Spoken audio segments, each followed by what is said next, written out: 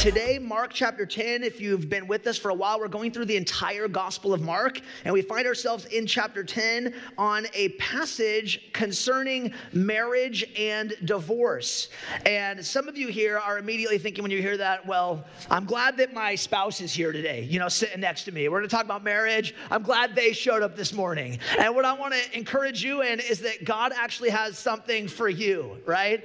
Like we talked about this last week, we're so quick to be like, oh, they need to work on this stuff, don't think of this in terms of what do they need to work on. Think of this in terms of what, what does God have for you? What does God want to speak to you? He has something for you today, not just your spouse. Some of you here, as you hear, uh, we're going to talk about marriage and divorce and Jesus' vision for that. Some of you will immediately like uh, be triggered by that, and some of you will immediately be filled with regret when you hear these words. Um, you've had past marriages that failed, and you've had hardship, and you've had adultery committed on you you, and some of you, you have committed adultery. And, and so this, this topic of marriage and divorce for some people isn't easy. Uh, it's, a, it's a difficult thing. And what I want to remind and encourage you of before we jump into it is the same God who ordained these beautiful scriptures and texts about marriage is a God of grace and redemption and restoration.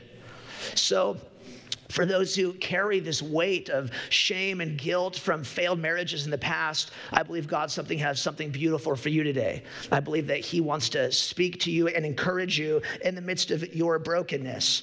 Um, some of you, as as you listen to Jesus' vision for marriage, um, you will get angry. You will get angry and upset and frustrated at how Jesus could actually say these words because Jesus' vision of marriage may look extremely different than a lot of our our vision of marriage today, specifically being influenced by a Western culture that has redefined completely what marriage is. And so, if you're here and you find yourself getting angry and upset with what Jesus has to say, I would just want to encourage you um, to, to just listen and to receive and to see the beauty of God's good design and believe that God actually wants to speak to you, even with your frustrations and even with your anger. Some of you guys here, you hear we're talking about marriage and your divorce, and you're like, great, well, I can just kind of check out because I'm single, right? And I'm here to say to you today that God has something for you as well. Don't, don't check out, don't tune out. God wants to prepare you, if you're single, for what a, a biblical marriage looks like and for the beauty of his design. So I believe that there is something here for all of us, whatever season of life we're in, whether single, married, divorced, wherever you're at, I believe that God has something for each one of us. So, with that preface, let's jump into the text and see what Jesus has to say. Starting Starting in verse 1, it says, And he left there and went to the region of Judea and beyond the Jordan, and crowds gathered to him again. And again, as was his custom, he taught them. And the, Pharisee, the Pharisees came up and, in order to test him, asked, Is it lawful for a man to divorce his wife? So, Jesus' teaching on marriage that we're about to get into is prompted by a question from the Pharisees. They come to Jesus and they say, Is it lawful for a man to divorce his wife? What's important to understand is that the Pharisees are not genuinely trying to seek and understand what Jesus' view of marriage is. They're not genuinely concerned with the truth, but rather they were out to expose Jesus. They were out to trap Jesus. They were uh, opposed to Jesus because he had made a declaration earlier that he was the Son of God. And so we need to understand the heart posture of the Pharisees isn't, I want to actually know what Jesus has to say. They were laying a trap before him. Now, the region that Jesus is teaching in is the region where Herod had recently beheaded John the Baptist, if you remember that story in Mark, because John the Baptist was speaking out about against Herod's marriage. Herod was married to his brother's wife. His brother's wife had left him, and now he was married to her. And then he was also having sexual relations with his niece. And John the Baptist was speaking out, saying, This is not God's design, this is not God's intent. And so the Pharisees here could have been trying to get Jesus to speak out on this same thing in hopes that as they they beheaded John the Baptist, so too Herod might do the exact same thing to Jesus. So they were laying a trap before him. Also, it's important to note that in this day, the, the debate on marriage and divorce, uh, there was a lot of different views, just as there is today. But there was primarily two views in the rabbinical schools of thought. If you were a Jew, there was two primary views. The first one was uh, from Rabbi Hillel, uh, more of a liberal view, and there were certain Jews who believed that you you could divorce your wife for any reason. Literally, some people were like, You didn't cook my eggs the way I wanted, so I'm out and I'm going to forage to get eggs instead because they're amazing. So some people believe that. You could divorce your wife for any reason you wanted. Then there was the more conservative approach, the school of Shammai, and they said the only grounds for divorce was adultery. And so again, the, the, the, the, Pharisees knew that there was these two different camps. They knew that people were divided on this. And so again, they tried to pigeonhole Jesus and get him to speak into only one so that Jesus would uh, have opposition from the other half of the people. So again, they're setting a trap. They're not actually genuinely concerned as to what Jesus thinks about marriage. We need to understand that. Verse three, so Jesus responds and it says, he answered them, What did Moses command you? And they said, Moses allowed a man to write a certificate of divorce and send her away. It's interesting, if you look at and study the life of Jesus, Jesus whenever people came to him with questions and were genuinely curious, Jesus would always have a conversation. Jesus would always share. Jesus would always teach for people who were genuinely curious. But we see here for the Pharisees, who he knew was trying to trap them, instead, he flipped the question back on them. He knew that their hearts were closed, not open. And so he turns the question back on them and he answers their question with a question. They said, Is it lawful for a man to divorce a wife for any reason? And Jesus says, What did Moses command you? What does the Mosaic law say? And Jesus uh, does this because Moses was their authority. They, had, they held to the Mosaic covenant and the law of Moses very highly. And so Jesus asked them, Well, what does Moses say about this? And then they answer in verse 4 and they say, Moses allowed a man to write a certificate of divorce and to send her away. So their response here is partially quoting the law that Moses gave on marriage marriage and divorce in Deuteronomy chapter 4. And I want to just real briefly read that passage, Deuteronomy 4, verse 1 through 4, so you can understand the big picture of what Moses was speaking about. Here's what it says Deuteronomy 24, this is what part of what the Pharisees quoted. Moses says, When a man takes a wife and marries her, if she finds no favor in his eyes because he has found some indecency in her, and he writes her a certificate of divorce and puts it in her hand and sends her out of the house, and she departs out of the house, and if she goes and becomes another man's wife, and the latter man hates her, and writes her a certificate of divorce and puts it in her hand and sends her out of his house. Or if the latter man dies, who took her as his wife, then her former husband, who sent her away, may not take her again to be his wife because she has been defiled, and that is an abomination before the Lord. And you shall not bring sin upon the land your God is giving, that the Lord your God is giving you for an inheritance. Thank you, Moses, for the longest run on sentence in the history of the scriptures. I think. Maybe there's longers, but that baby is long. Ultimately, the command that Moses gives here that the Pharisees quoted does not endorse divorce, it does not sanction divorce, and it does not even set grounds for divorce, but rather it acknowledges the reality that divorce does happen. The primary purpose of this law was actually to protect the wife from arbitrary divorce. But the Pharisees twisted it and, gave, and took what was given for a measure of protection for women and they used it as permission for their own selfish motives. He says that a, a man cannot come back who left his wife and then go and say, You have to come back to me yet again. And this is actually really revolutionary because in Jesus' day, women didn't really have any rights, especially when it came to marriage. Marriage in first century Judaism was not a mutual contract between two individuals like it is today. A woman did not have the choice to marry, but she was rather given in marriage. You'll see that over and over and over again in the Old Testament. And likewise, according to the Jewish traditions, a woman was not allowed to divorce her husband, but a husband could divorce his wife, which is why the Pharisees come and ask again in verse 3 or in verse 4, they say, uh, Is it allowed, or, in verse 2, is it lawful for a man to divorce his wife?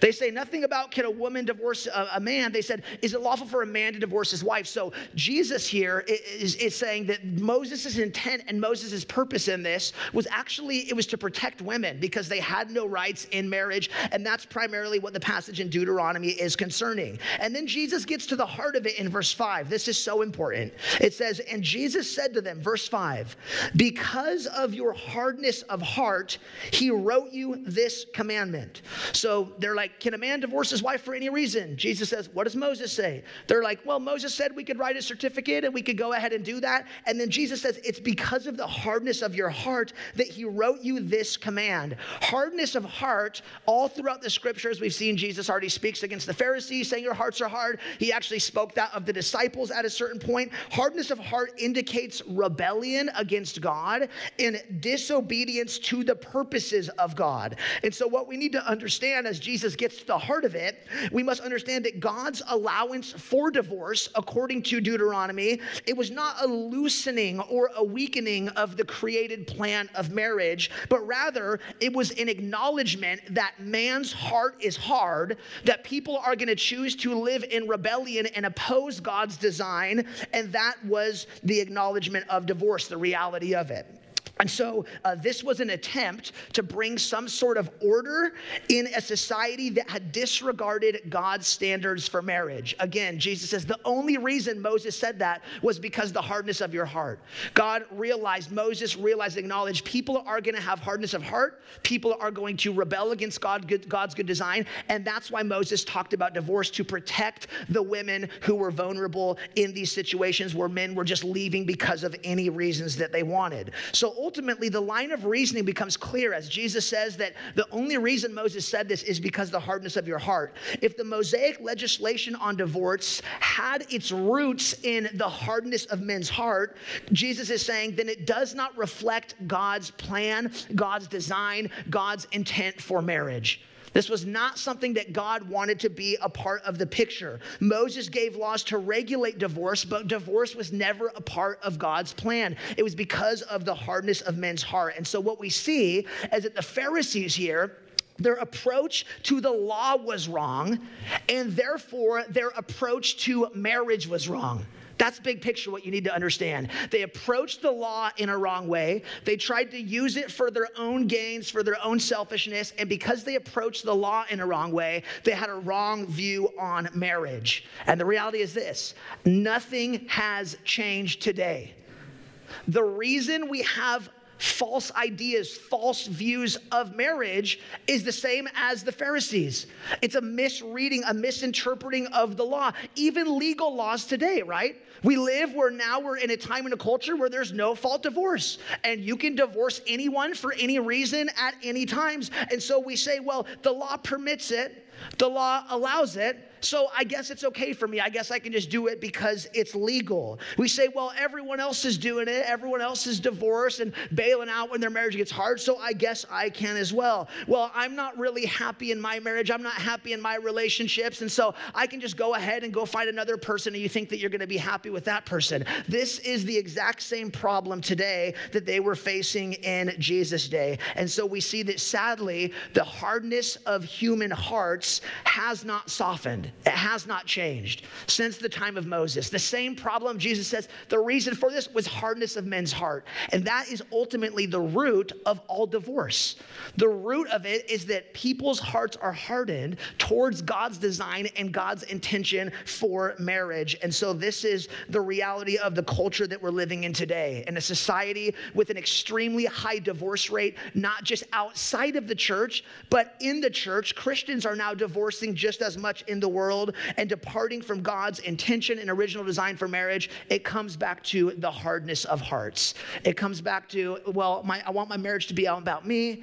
I'm not happy. I'm not satisfied. The law allows it, so I'm going to go ahead and do it. We have to acknowledge that nothing has changed. And Jesus continues in verse 6, and this is really the heart of his teaching. Here's what Jesus says in verse 6 He says, But from the beginning of creation, God made them male and female. Therefore, a man shall leave his father and mother and hold fast to his wife, and the two shall become one flesh, so they are no longer two, but one. What therefore God has joined together, let not man separate. So again, the Pharisees came to Jesus, they were trying to trap him.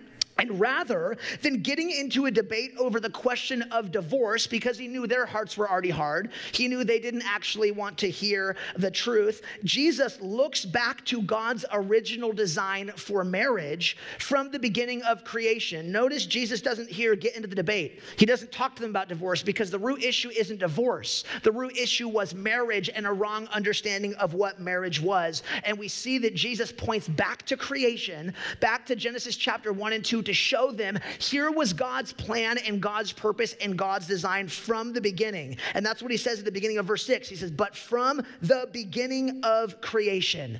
And so, what we need to understand is that marriage is not a human invention, marriage is not a social construct. Marriage is a creation ordinance that God Himself designed from the very beginning when there was one man and one woman. God is the one who created created marriage. God is the one who thought of marriage. God is the one who brought marriage into being for the purpose of human flourishing. And if marriage is God's creation and not primarily mine and not primarily a social construct, it means that marriage belongs to God. It means my marriage belongs to God. It means your marriage and your future marriage, it belongs to God. It was God's idea, it was God's design, it was God's plan from the beginning of creation. And if God is the creator of marriage, this is important. If God is the creator of marriage, then it means he's the one who gets to define what it is. And this is so important for us because this is a question everyone's wrestling with. As marriage continues to shift and change, and now it's this, and now it's this, we need to ask who made up marriage? Where did it come from? Because if we don't start there, if we don't know who founded it, then we don't know who has the authority. Does the government have authority to say what marriage is? Do I have the authority to say this is what marriage is? God is the one who created it, so God has the authority to define it. That's what we see here in the scriptures. Now, before we proceed, and get into the heart of Jesus teaching on marriage, I would just like to say that if you are in the majority camp in your view on marriage, and the majority camp now is a view on marriage that is not taught in the scriptures, we need to understand that the scriptures' view on marriage, if, if you believe what the Bible says, you are in a very small minority camp. If you actually hold to what Jesus says on the Bible you, you, in marriage, you're in a very small camp. If you're here and you have differing differing views from what this scripture teaches, before we get into this, I just want to say I'm thankful that you're here. I'm thankful that you would sit and that you would listen to something that you radically disagree with. There no doubt are people here who this is going to come across as what? How could you actually believe that? How could you be so narrow minded? If you're here and you're in the majority camp and you have a different view on marriage, I first want to say, I want to thank you that you would be here, take the time of day to sit and listen to something that you disagree with. And I also would like to extend the invitation. Whenever there's stuff like this in scriptures, I would like to hear. I would like to hear your story. I would like to hear why you believe differently if you do. And I'm totally open to that. I'm, I love getting together with people and I love having conversations around issues where we see things differently and talk through the scripture and talk through God's design. So if you're here and you hold a different position on marriage, um, please don't just cancel me out. I, I would actually love to hear your story and how you've arrived to believe what you believe about marriage. Please don't hesitate to reach out. I'll buy you coffee, I'll buy you lunch, and let's sit down, let's talk about it, and have a, a, a healthy dialogue on this. And again, also as we get into this, we need to acknowledge that we live in, again, a broken world. We live in a day and age where God's design for marriage has been broken, and every single one of us has been affected by the departure from God's design. Even my story. I come from a family of multiple divorces and adultery, and growing up not knowing like what was going on and why is this going on. I thought we were Christians. I thought we were supposed to do this. Like marital brokenness is a part of my story. It's a part of every single one of our stories in some capacity. And so if you're here and you're like, man, like this stuff is hard because like that's not how it happened in my life, and that's not how it's happened in my parents' life and all that. The, the, scripture acknowledges that we live in a fallen world where people, because of hardness of heart, have strayed from God's design, and there is so much grace to cover that. And so I hope that as we look at what Jesus has to say, you will just allow God's grace to cover your brokenness, and you would see that his heart is not for condemnation or judgment or just to point fingers and make you feel bad. It's to bring us into alignment with the Creator and with his design for marriage. So in this short little passage, verse 6 through 9, we see six foundational principles for marriage that were established at the beginning.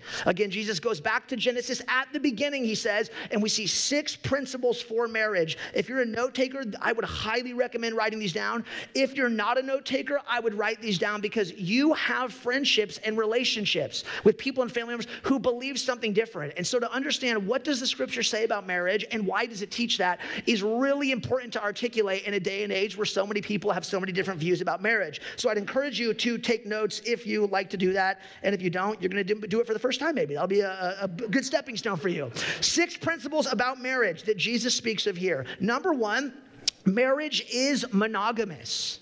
Number one, marriage is monogamous. It is an exclusive relationship between two people. We see Jesus says in verse 6 From the beginning of creation, God made them male and female. Therefore, a man shall leave his father and mother and hold fast to his wife, and the two become one flesh. In God's design for marriage, from the beginning of creation, it was meant to be exclusive, it was meant to be between two individuals. Today, people are in polyamorous relationships and polygamy, and people have open relationships and Tinder and hookup culture and all this. We say, I can just do it with whoever I want, whenever I want. It can be all these relationships. Jesus says, for marriage, that was not my design. That, is, that was not my intent. My intent was that it would be for two individuals coming together in a committed relationship. Marriage is monogamous. Number two, marriage is gender specific.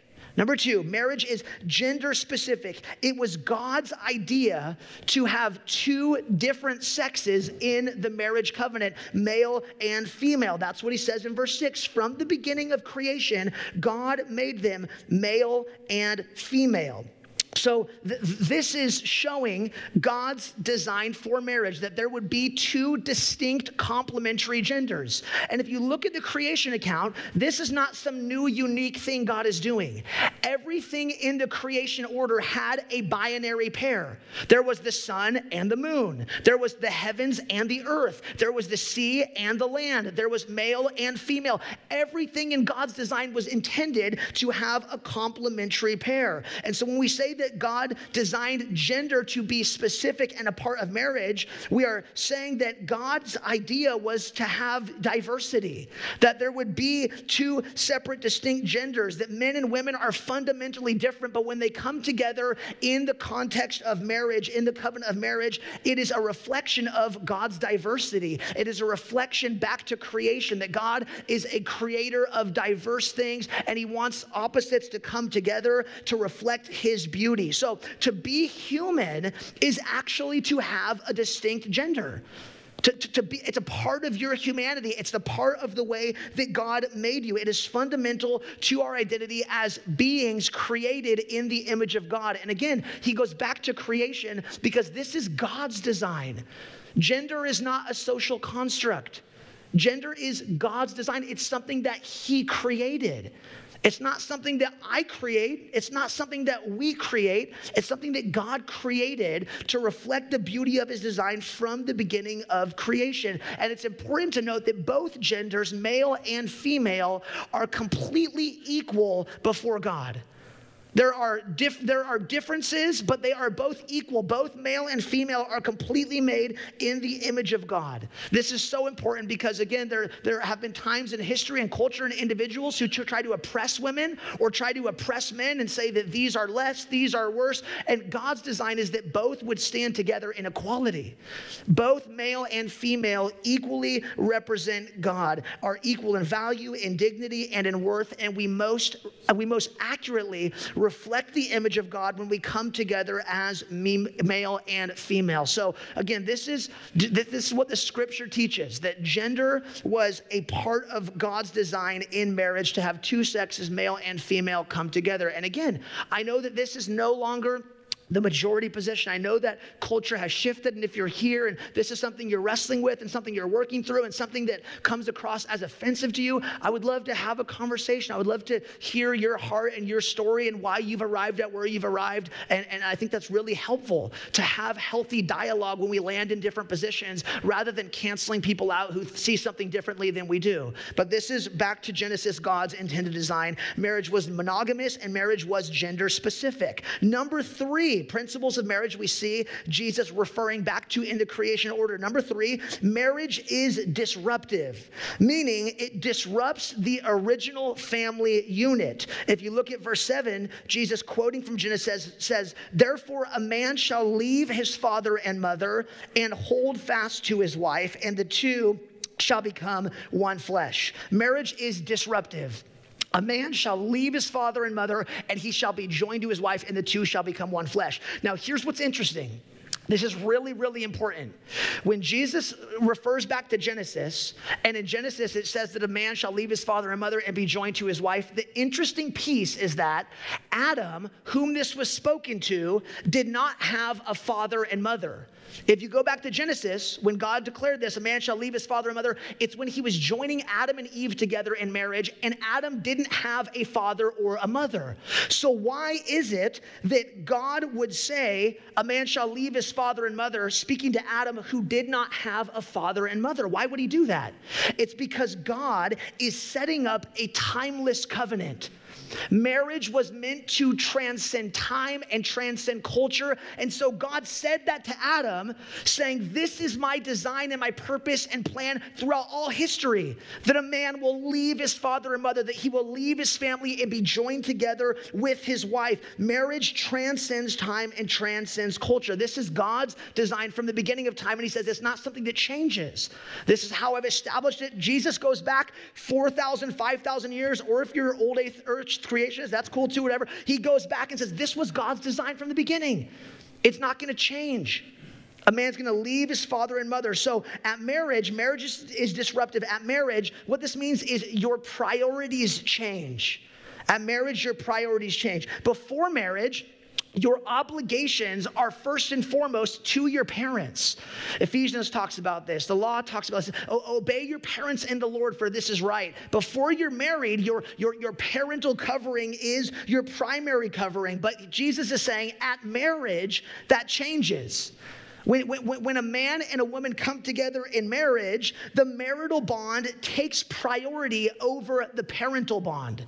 You no longer go and check in with your parents to see if it's okay to hang out past midnight.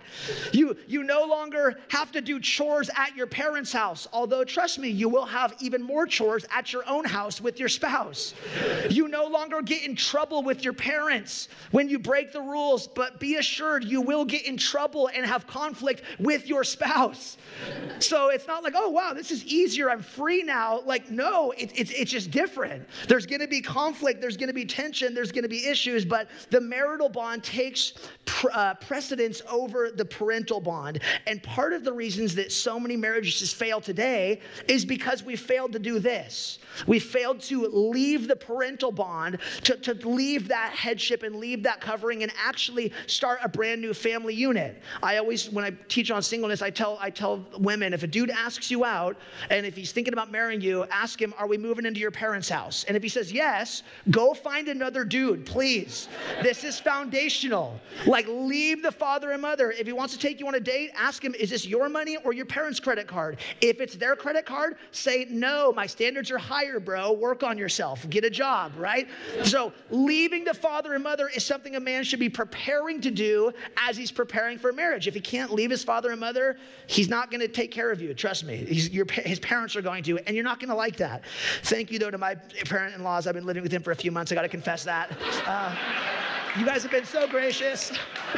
We sold our house a couple months back when we had our second kid because it was a tiny one bedroom. And I'm like, well, I guess I'll break this one for a few months or something, you know? So it is nice to have that when you need that, but that's not long term. That's not God's. If in five years I was still there, I would hope Val would kick me out of the house and be like, no, bro, you're out and move us out to the street or something like that. So marriage number three is disruptive. It's, it's that you would start a new family unit and that the two of you would be joined together. You leave the parental authority and you come under the authority of God in marriage. Number four, again, six principles. Number four, uh, marriage is permanent. Number four, Marriage is permanent. Look back down at verse 7 again. He says, Therefore, a man shall leave his father and mother and hold fast to his wife. And he says, And the two shall become one flesh. So they are no longer two, but one flesh. One flesh here emphasizes the permanence of the marital bond. It's not two individuals doing their own thing. He says, You actually are one. You are joined together permanently. He goes on in verse 9 to say, What God has joined together, let not man separate. Marriage was never intended to have separation, it was intended to be a permanent relationship. And Jesus speaks even further into this when he continues in verse 10, 11, and 12. If you want to look down there real quick, it says, And in the house, the disciples asked him again about this matter. And and he said to them, Whoever divorces his wife marries another, uh, and marries another commits adultery against her. And if she divorces her husband and marries another, she commits adultery. So Jesus goes into talking about adultery and divorce to re emphasize that marriage is a permanent covenant. He says that if you divorce and remarry, you're committing adultery because God's intended design for marriage was that the two of you would be together forever that it would be exclusive, that forever you would remain together till death do us part. And so, verse 10 through 12 is Jesus re emphasizing that marriage is a permanent covenant. Now, we have to let Scripture interpret Scripture. When, when in verse 10 through 12, Jesus says, if anyone divorces, they commit adultery. There are two exceptions in the Scripture in the New Testament where grounds are permissible for divorce. The first one is in Matthew chapter 19, where on grounds of uh, adultery, if a husband cheats on a wife or if a wife cheats on a husband, there are biblical grounds to divorce. Now, the, the divorce is not, uh, is not set mandated. It doesn't say you have to. God's heart is always for reconciliation. But when there is marital unfaithfulness, the, the oneness has been broken. When you come together and say, we're, we're, we're together, we're married for life, and one partner goes outside of that marriage covenant and has sexual relations with somebody else, that actually is the act act of divorce. Divorce is not we signed some paper, divorce is we broke the oneness of flesh.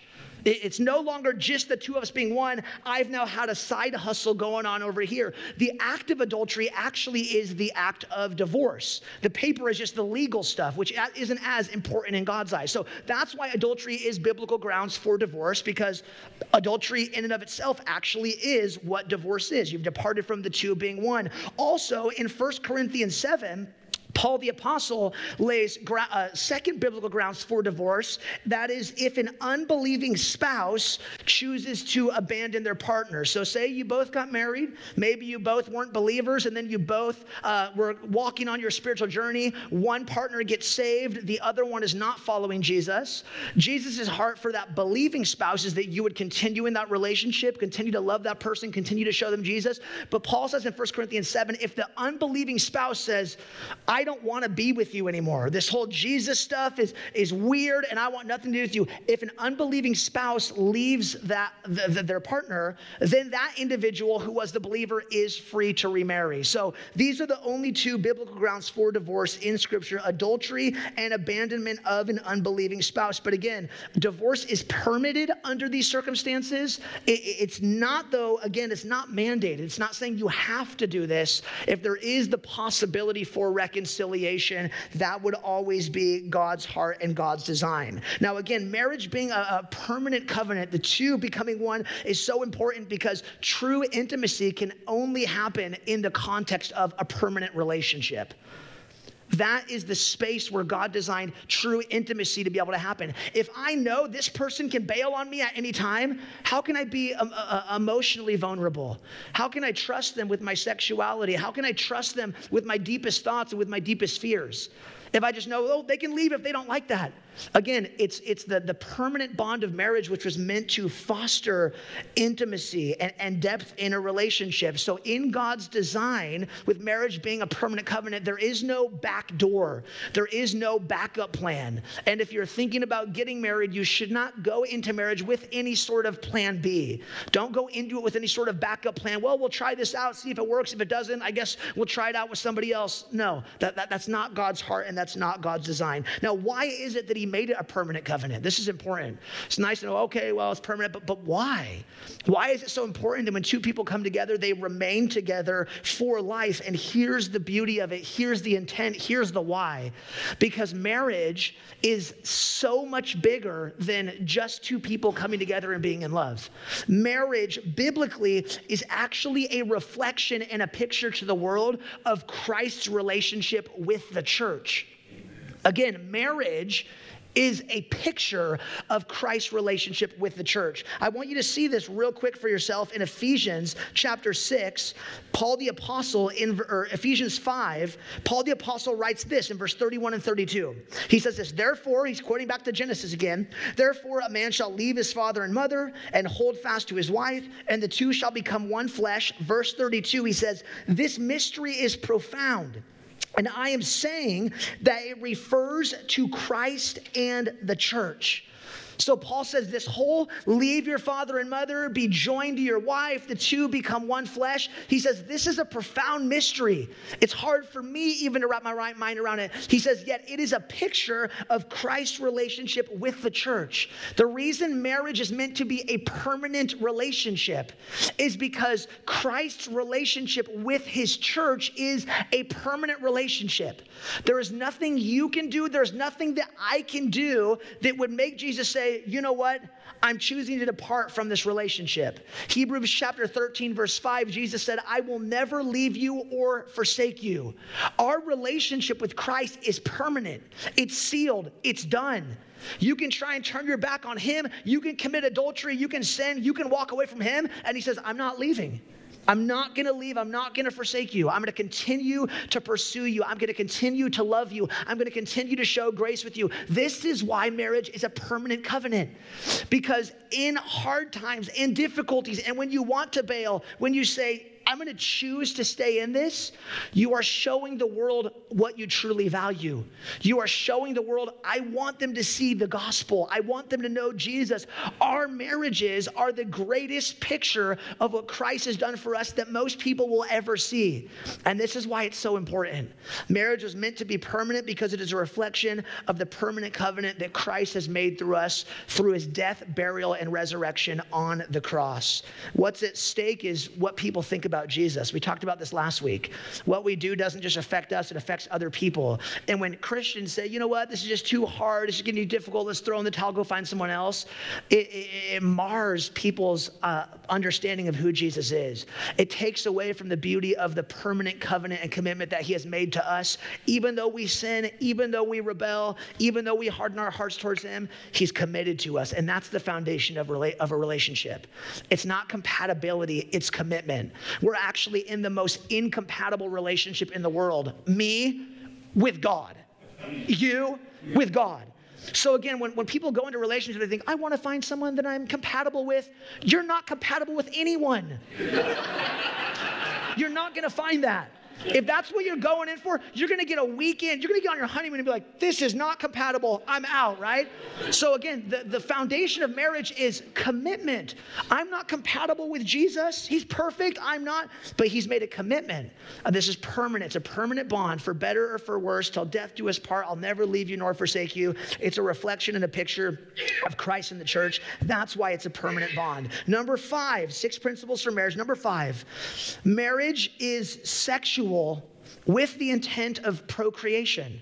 Marriage is sexual with the intent of procreation. Again, he says in verse 7 Therefore, a man shall leave his father and mother, the two shall become one flesh, and they are no longer two, but one flesh. One flesh here, by the way, does have sexual connotations. It means that you now will physically, sexually be one flesh with that other individual. Marriage and sex and procreation were all intended to go together in the marriage covenant. The first command that God said to Adam and Eve was be fruitful and multiply, which means have sex and now make more image bearers. God made mankind in his image and he said, now go do the same as I've made you. Go make image bearers so the world may see who I am. So in God's design for marriage, marriage, sex, and procreation, these were all intended to go together. But our culture has tried to separate each one of these. Our culture has has separated marriage, sex, and procreation. We've separated sex from marriage, and premarital sex is now the new norm. 96% of people have sex before they get married. That's our culture saying, we don't believe this is God's design that marriage and sex would go together. I want sex, but I don't want the commitment. I want sex, but I don't want the marriage. I want sex, but not the relationship. That was not a part of God's design. We've separated sex from marriage. We've also separated marriage from procreation. Now, in the US, 41% of all births happen outside of wedlock. And that baby is now being raised by a single parent, and that was never a part of God's design. It was never a part of God's intent. His intent was that procreation would happen inside the context of a marriage with a father and a mother raising that child together. We have also separated sex from procreation. We've said, I want to have sex, I want to do it on my own time, but if I get pregnant, then I don't want that. And to date, I checked even this morning, there's a website with the updated counter. There have been 18 million abortions worldwide year to date. This is the separation of sex and procreation. I want the fun, I want the sex, but I don't want the responsibility. Now, again, here's my heart, and here's, I believe, God's heart. I, I, don't say all these to make you feel so horrible. There's people in here who are having sex out of wedlock. There's people right now who had sex out of wedlock and have a kid and are raising them by themselves. There's people in here who have had an abortion. And God's heart and God's design and God's intent in this area is always redemption and restoration and forgiveness. There is nothing that you have done sexually. There, there is nothing you have done that cannot be redeemed by the work of Jesus. That's what the cross was for. It redeems our brokenness. There is grace, there is mercy, there's forgiveness. So I don't want anybody to leave today being like, man, why did I do that five years ago, 10 years ago? God's heart in this is not to condemn you.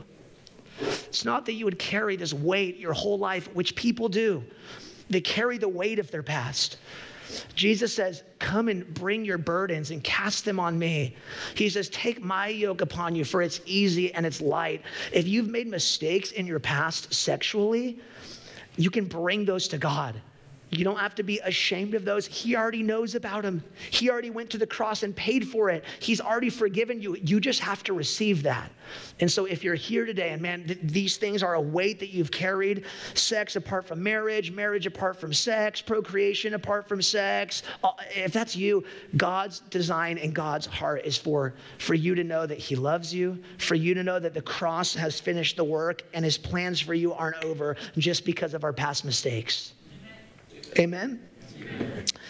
We need to hear that because there's so many people just carrying this weight of guilt and shame because of sexual brokenness. And that's the beauty of the cross is that it's powerful enough to restore even our, our even the deepest parts of our human brokenness, which is so beautiful. So, um, marriage, uh, number six, closing final point from what we see here in, in Jesus' teaching. Um, number six, marriage is something that God does, not something that we do. Marriage is something God does, not something we do. Look at verse 9. He says, This is again back to creation. This is how it was intended. He says, What therefore God has joined together, let not man separate. God is the one who joins two people together in the covenant of marriage. It's not just two people choosing to be together. From a human perspective, it may look that way. Wow, I love him, she loves me, let's get married. We made that choice. Marriage is actually something that God does. It says, What God has joined together, let not man separate. Your marriage exists, and your future marriage as a single person exists because of the sovereign plan of God. God is the one who brings and unites two people together. It was God who created both individuals. It was God who created attraction between both individuals. It was God who made the circumstances come together so that two individuals would meet and fall in love and actually desire to live their life together in marriage. It was God from the very beginning. It is God who created marriage, and it is God who does the marriage. Our marriage is an expression of the goodness of God. Our marriage is an expression of the grace of God. Our marriage is an expression of the sovereign plan of God. This is so important. Today we think it's just me, it's just me wanting to do this. No, this is what God is doing in you. This is what God is doing through you. Marriage is something God does, not just something we do. Now, in closing, why is all this so important? Why is it important that I understand marriage is monogamous? Why is it important that I understand it was intended to have male and female? Why is it important that I understand that it's a permanent commitment, that it was meant for sexual relationships, that it's something that God does? Why is all this so important? Two closing thoughts that I want to leave you with. Number one, it's important to recognize this because God knew exactly what He was doing when He created marriage and when He brought two people together. God knew exactly what He was doing. He didn't make any mistakes. He didn't make it wrong and say, whoops, I need to shift it, I need to change it. God knew exactly what he was doing when he created marriage and when he brought two people together. If we don't believe that, then we're gonna make marriage in our own image.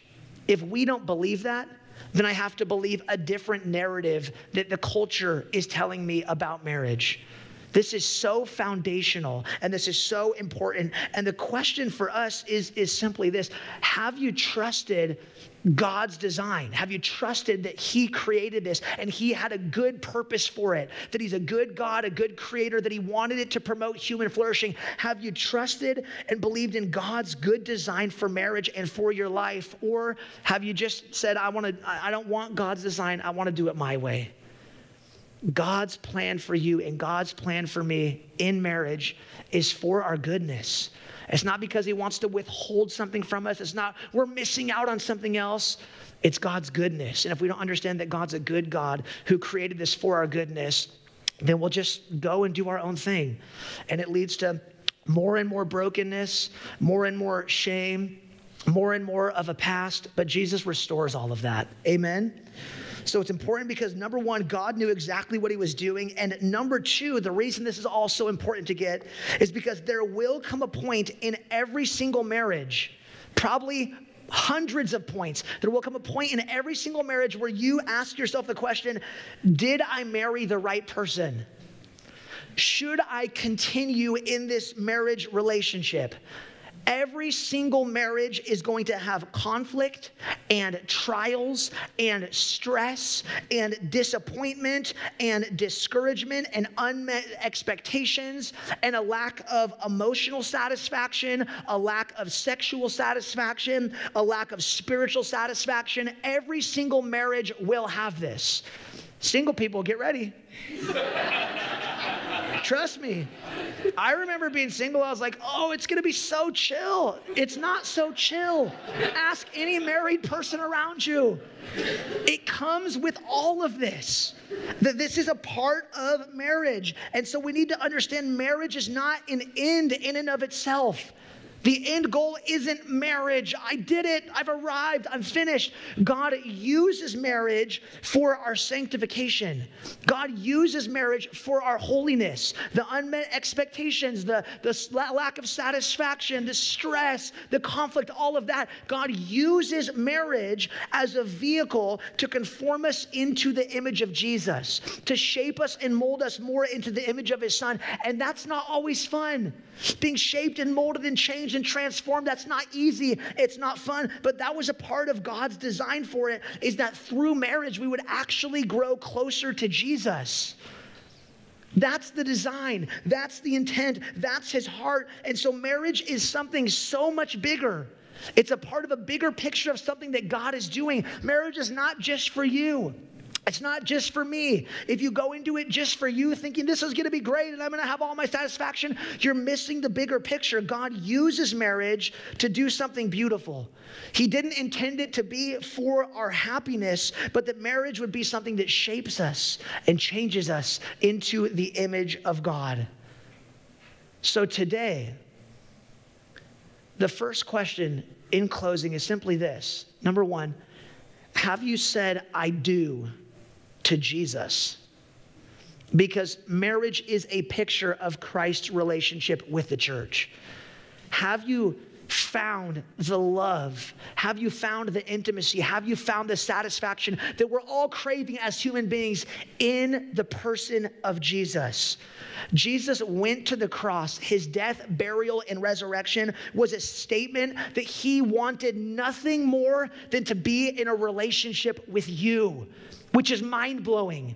You think it's mind blowing that your spouse said yes to you? Think about the fact that God said yes to you. God wants a relationship with you. God wants you to abide in His love. He wants you to know what it is to be loved and to love perfectly. Have you experienced that? Have you entered into the perfect love that Jesus has freely offered us on the cross? That's what marriage is a picture of. And if you go into marriage and you don't have that in mind and you haven't said yes to Jesus, you're, you're already going to be off track. Today, there's people here who need to make that decision. There's people who have never said yes to Jesus, and Jesus wants a relationship with you. He wants to know you and be known by you. And if today you'll look to the cross and say, Wow, I'm going to trust in his finished work, you will find deeper satisfaction in your relationship with Jesus. I guarantee it than in any other human relationship. All human relationships are just a shadow and a sliver and a taste of what we have in Jesus. Have you said yes? Have you said, I do to Jesus? And then, secondly, for those of you who are married, ha- have you made your marriage about you? Or is it about Jesus? Is it about pointing people to Jesus? Is it about persevering and showing grace and forgiveness when your spouse wrongs you so that people can see, wow, that's what Jesus did for us? And they're now modeling it. So quickly we can start, yeah, let's make Jesus the point of our marriage. And then it becomes so about you. It becomes so self centered, and my needs aren't being met, and I'm not happy, and I'm not satisfied, and they're doing this, this, and this. And we're, we've missed the bigger picture. We've missed the bigger vision. So today, my prayer is for those in here who are married that you would reorient your lives and reorient your marriage around the finished work of Jesus. And for the single people in here to start laying that foundation now, start building and cultivating a deep, strong relationship with Jesus now. So when you do get married, that will be the foundation. Amen.